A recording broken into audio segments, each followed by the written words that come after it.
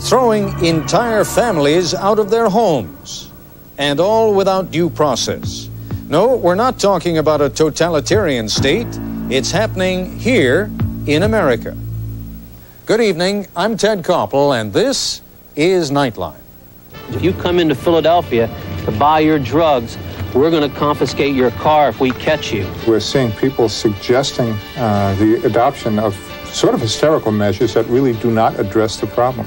How far is too far in fighting the war on drugs? And will these extreme actions make any difference? That's our story tonight. This is ABC News Nightline. Reporting from Washington, Ted Koppel. Only yesterday, Washington's Mayor Marion Barry, who has made it clear that he doesn't think much of the measure, signed into law a curfew that goes into effect on Monday. Youngsters under the age of 18 will not be allowed out on the streets of Washington between the hours of 11 p.m. and 6 a.m. on weekdays, midnight to 6 a.m. on weekends.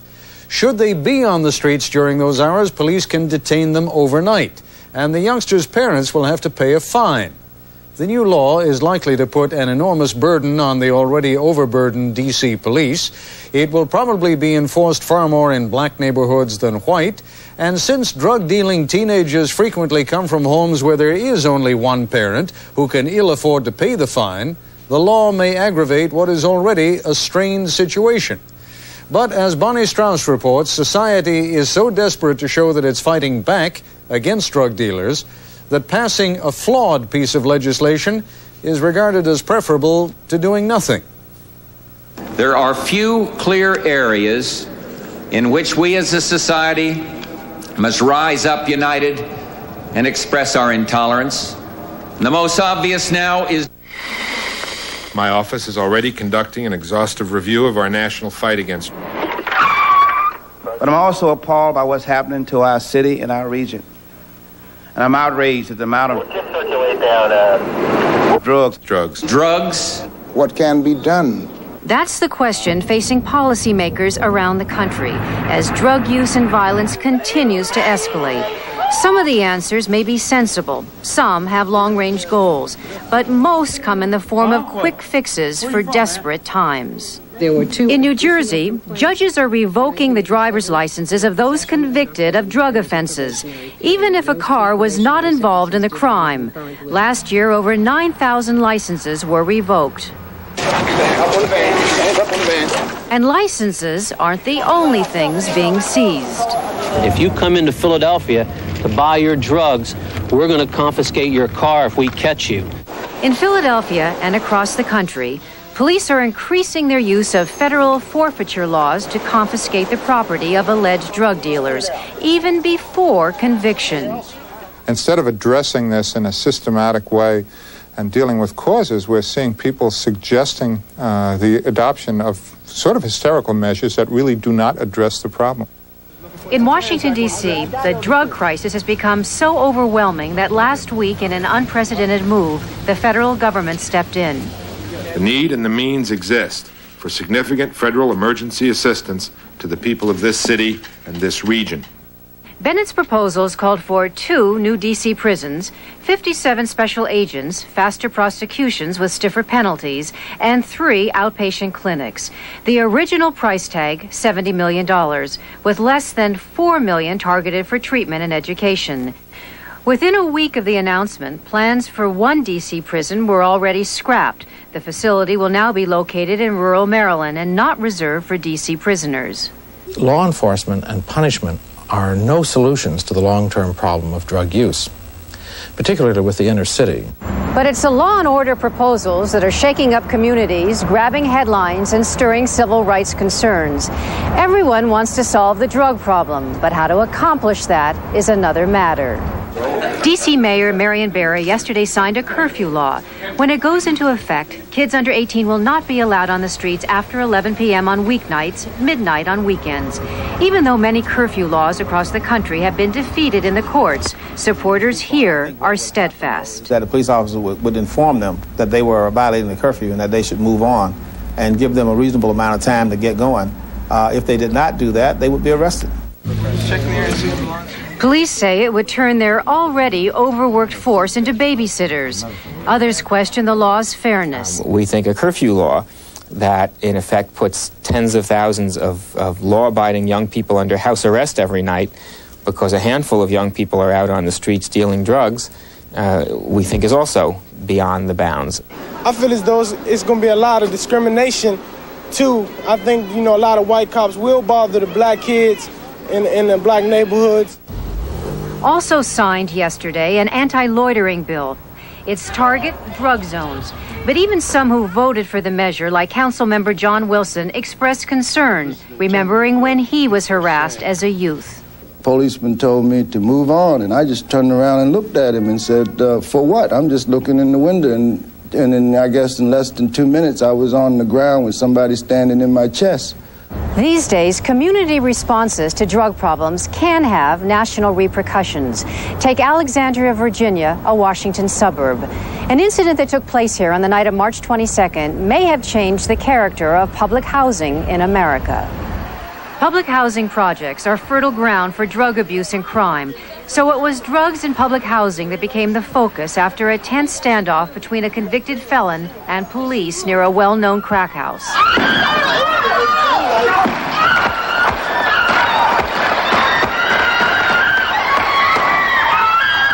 The gunman was killed, but not before fatally wounding a 13 year veteran of the police force.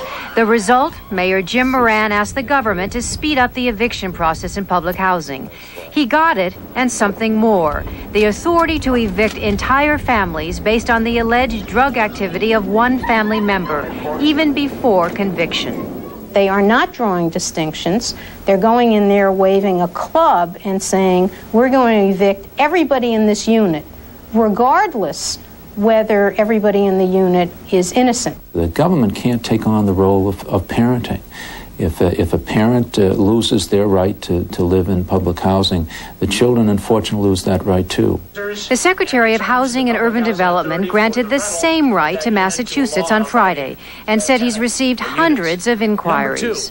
I will personally, at HUD, waive the lease and grievance rules for those public housing uh, authorities uh, to evict those who are involved in drug trafficking or use or related uh, criminal activities. Another HUD recommendation endorsed by Kemp ID cards for public housing residents, modeled on a program already in place in Chicago. It's a touchy issue. I feel as though that when we go take our pictures for our driver's license or some sort of ID, school ID, why should we need another dog tag? When I hear people talk about putting IDs on, on residents of, of this city and this country, I think about South Africa with the pass laws. Penalties, tougher enforcement, restrictions. The question being asked will any of this make a difference? I'm concerned that once the law enforcement uh, impulse among Americans has been satisfied. There is no other impulse left over for the long term solutions. Stay down. I got the red one. They're gradual, they're frustrating. Everybody wants something to say about it. Sir, you're under arrest before we ask you the question, but understand what your rights are. And somebody want to come up with a solution. You have the ID with you? And nobody's really digging to the root of the thing. This is Bonnie Strauss for Nightline in Washington. Later, we'll talk about the tough anti drug proposals with a community leader in a public housing project in Philadelphia. But first, when we come back, we'll be joined by two people on opposite sides of the issue Florida Congressman Clay Shaw, chairman of the Republican Task Force on Drugs, and John Powell, National Legal Director of the American Civil Liberties Union. This is ABC News Nightline, brought to you by AT&T. You know how I always want kids. They're not the trouble people think. New parents tell how their families are working. Attorney John Powell, who's with us now in our New York studios, is legal director of the American Civil Liberties Union. The ACLU has been concerned about the due process issues raised by steps being taken to deal with drug crimes. Congressman Clay Shaw of Florida is the Republican Congressional Task Force. He is the chairman of that task force, which was formed to assist federal drug czar William Bennett in working out a legislative package to help fight the war on drugs. Congressman Shaw, is in our Washington Bureau. Any of those laws, Congressman Shaw, that, uh, that you've seen, any of that legislation that you feel is maybe a little bit too much too soon, not carefully well, thought through? Well, looking at, uh, looking at the uh, lead-in that uh, we just saw coming into the show, I think it certainly, uh, certainly illustrates that you're going to have to have some restraint and judgment on the part of law enforcement in enforcing some of these laws. The uh, loitering is, is, is an area which has a great deal of uh, case law holding it unconstitutional, and the uh, uh, the curfew laws are going to be tough for the Washington police to enforce if they try to come along with strict enforcement. If they simply use it as a tool and use it reasonably to assist them in uh, just trying to put the people off the streets or being able to stop them to find out exactly uh, what they're up to, it, it could work but uh, it is going to uh, it's going to get a tough legal challenge, and uh, I believe that we're going to have to wait and see how that comes out. Mr. Powell, I would assume that you and your colleagues are going to be among, uh, among the challengers. Uh, would that be accurate? Yes, that will be accurate. Uh, there are a number of concerns with a number of the measures that are being considered and that are being uh, pursued right now. And one, one big area is that the whole process really um, deals with the drug problem only as a law enforcement problem. And it's clearly not simply a law enforcement problem and the law enforcement efforts have, um, up until this point, been ineffective. And I think that even what's being considered, even in this, its draconian state, will continue to be ineffective. Among the various laws that we uh, that we saw in the past few minutes that Bonnie Strauss referred to, for example, the loitering, the uh, the curfew law, the business about the ID cards, uh, pick any one of them that you like people being thrown out of public housing because a member of the family was dealing drugs. Uh, any one of them that you think is going to survive? Well, it's hard to say. I think all of them are uh, offensive and for various reasons. I mean, take the public housing uh, law that's being considered. Uh, first of all, they're saying that not someone who's been convicted of drugs, and if someone's been convicted of selling drugs or even using drugs, there's already a remedy. Lock them up. Uh, if, you know, there are legal sanctions for someone that's found guilty of losing drug, using drugs. What they're saying is that if someone has allegedly been using drugs, they can kick that person out and the entire family. What if it's a 10 year old girl living in a house, uh, household with several members, several siblings, and a parent? The solution, even if she has used drugs, marijuana, what have you, doesn't seem to be to make that family homeless. And to kick someone out of public housing run the risk of immediately making that family homeless. Congressman Shaw, let me ask you to respond to that, but before you do, let me emphasize one of the points that uh, Mr. Powell made, and that is that the mere allegation is sufficient. Doesn't that go contrary to everything that, that is most sacred to us in American law? Well, I'm not sure that that's uh, I'm not sure that's correct as far as a mere allegation. Uh, what we have seen, and this happened in the 1988 uh, omnibus drug bill, we put in a provision that anyone who was dealing in drugs within the uh, public housing unit would be uh, would be expelled. Now, this is taking it one step further, and it's, it's saying that the people that are involved in uh, the use of drugs or the dealing of drugs are not going to be subject to uh, public housing. We have to remember that for public housing, this is federally assisted housing. We have waiting lists of people waiting to get in. It's not like we're going to do away with that housing unit. We're simply going to recognize the fact that people living in there are going to be held to a certain standard. What we are these... what we are saying, though, Congressman, is that is that we are not only judging someone guilty by association, but we're also going to punish them simply for their association, even if there's no indication that they were involved in in the commission of a crime themselves. Well, the, the fact that they are part of a family unit that, uh, that is, there will be people that suffer. But we have to remember what we're trying to do is to get hold of a very desperate situation. Uh, we saw what happened in Alexandria. This is not isolated to one city or one housing unit. It's all across the country.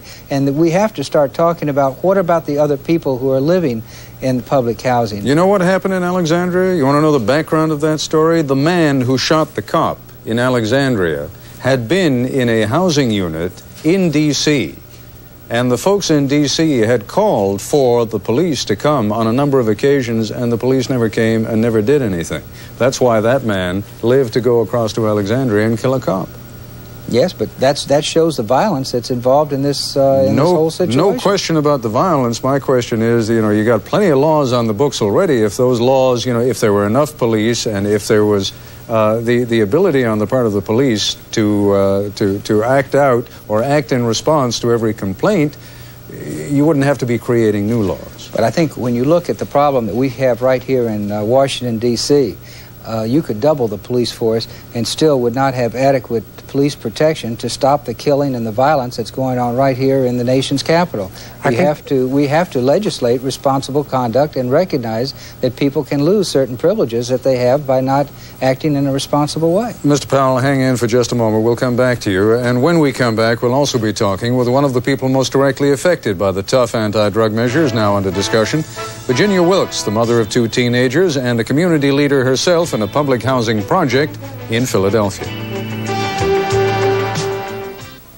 Ford profiles in quality, reliability. The quality of today's Ford. Each year, Virginia Wilkes, who's with us now in our Philadelphia Bureau, is president of the Residence Council of the Richard Allen Public Housing Project in Philadelphia, where Housing and Urban Development Secretary Jack Kemp announced the administration's proposals for dealing with drug dealers in public housing last February. Ms. Wilkes is the mother of two boys aged 17 and 18. We have to keep our eye on the ball, Ms. Wilkes, and that is the, the object of all of these laws is to make life a little bit safer, a little bit more comfortable for people who are not dealing drugs, using drugs, uh, and involved in any way with drugs. Do you find any of these laws helpful? Um, I find some of them are, but a lot of them need a lot of some a, a whole lot of work. Um, especially the part about the identification of all the PHA residents. That would be somewhat hard in a conventional site. When I say conventional, I mean a low-rise development like Richard Allen is. Now, if you're talking about um, providing ID for those in high-rise buildings or senior buildings, then that can be done. But to do that in, in a low-rise development, it's, it's going to be real hard to do. Because? Explain that to me. Because it's, um, there is, you don't have, the housing authority doesn't have control of our, I can only speak about my development anyway, okay? You'd have to have almost like a wall around it, you mean? Thank and, you. And, and one entrance. Thank you. Yeah. And there's uh, many uh, ingress and egress in uh, Richard Allen. So therefore, to give, to make everybody have to have ID, I can't see how they're going to do it. What about the idea of if, if one person in a family is selling drugs, let's say even using one of the rooms in the house as a crack kitchen? Uh-huh. Uh, the way it looks right now, folks, every member of the family could be thrown out. I don't agree with that. It, it would put a lot of pressure on the family to say, get that, you know, get that drug dealing out of here, wouldn't it? Yeah, it, it would not, um, what I'm saying, I don't agree with that to the extent, how can you penalize a family for what one family member has done? Now, nobody has full control over their children once, you know, they leave their home at any time of the day. The child can make, leave out and say they're going to school, okay? If that child can go to school and just maybe stay in school a couple of hours, if there's not any, you know, communications being done with the pa- with the family along the school, who knows where that child is for those the rest of the hours of the day when he's not around the mother? So to try to penalize the family for what this child is doing is un- totally unfair. Let me let me ask you one more question, then we'll go back to a couple of our other guests also. I, I know you live in Philadelphia, not here in Washington D.C. Yes. But let's say, for the sake of argument, that there was a curfew.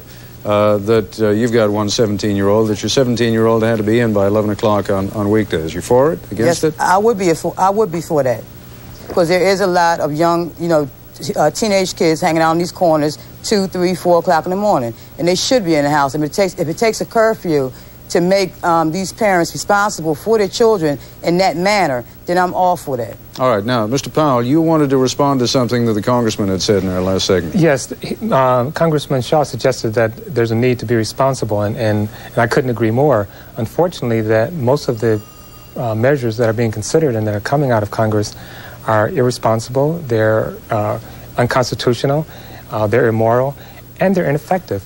There's no focus on treatment. All of the focus is on punishment. Uh, and everyone, including law enforcement officials, prosecutors, um, police chiefs, are saying that it's not simply a law enforcement problem, and even doubling the police force will not solve the problem. Is part of the is part of the problem, Congressman, that we have become kind of a short-term, goal-oriented society, and and to say, look, what you got to do first of all is you got to educate these kids. What you got to do is provide them job training. What you got to do. I mean, those are long-term goals. Take Well, two, think, three, four, uh, five years. Well, I think we are. We are in the Congress frustrated, and we're looking for instant gratification. Uh, but when, what Mr. Powell, the way he characterized the legislation coming out of the Congress, uh, is, is simply not the way that legislation came out. There's a lot of treatment in there. There's a provision in there that provides for treatment of, uh, of pregnant women, something that we haven't had before. Uh, there's a lot of educational proj- projects in there. There's some uh, uh, assistance to uh, local government. It's out all of up every and down the line. It's, out of I'm, I'm sorry to keep butting in like this, but we've got a very short segment. Out of every hundred dollars being spent, how many do you think are being spent on treatment and education, and how many are being spent on, on law enforcement type solutions? Well, less than 5% is being spent on treatment, and that was cut back in the last eight years. During all the hysteria around drugs, treatment and prevention has been cut back. The only effective uh, drug education program in the country, and that has worked, is the drug education program against tobacco, which All is a very serious drug with very serious addiction. We have got to take a break. Congressman, I'll give you and Ms. Wilkes a chance to have the final word when we continue, which we'll do in just a moment. Keep muscle while you lose fat. And Special K has the highest level of dietary protein available in a cereal. So exercise your good judgment too. Include this Special K breakfast in your balanced diet. And make a firm commitment to your body. Special K. Keep the muscle. Lose the fat. It's the creamiest, the dreamiest. The front line, as it were, if it were up to you and someone said, here's the money, how much do you want to go for education and treatment? How much do you want to go for protection? How would you allocate it? What I would, uh, what I would, I would allocate it for both. Okay, but I'd like to say this, Ted. Has anybody ever taken the time to sit down and think how did public housing become the way it is at this point? It didn't just, you know, it didn't just get like this overnight. These things have been going on, but now it's more escalated than it was before, ever been before. Um, Pete, the uh, housing authority does not have any strong leasing standards whatsoever. They will lease to anybody. They supposed to screen these tenants that come in. They're discreet. I mean, screen them for what? The uh, resident council doesn't have any input as to what goes on. Okay. Um, I've, I've got to cut you off because we've only got about 25 seconds left, and I wanted the congressman to have a chance just to respond. Truly, only 5% is think- going for treatment? I mean, let me just ask the congressman because down Well, when you're looking seconds. when you're looking at the federal budget, you're looking at everything from interdiction to uh, eradication in foreign countries to law enforcement to prosecution, all up and down the line, and building prisons. But I think one thing that's important, and I want to be sure I clear one point up.